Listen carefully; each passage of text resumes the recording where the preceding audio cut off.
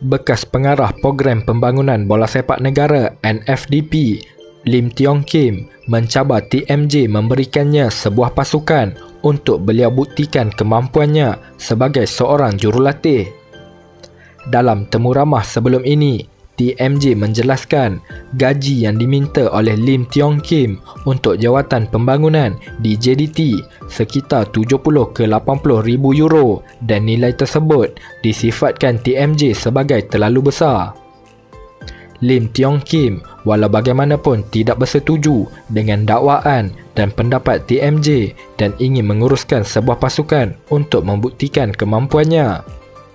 Maaf Tunku, apa yang kamu kata itu tidak benar. Kamu mempersoalkan kredibiliti dan keupayaan saya sebagai jurulatih. Saya cabar kamu berikan saya sebuah pasukan untuk saya latih.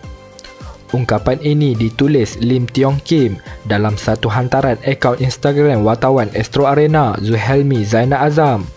Lim Tiong Kim sebelum ini beberapa kali mempersoalkan pihak FAM yang dianggapnya sebagai tidak cakna dan proaktif dalam pembangunan bola sepak negara.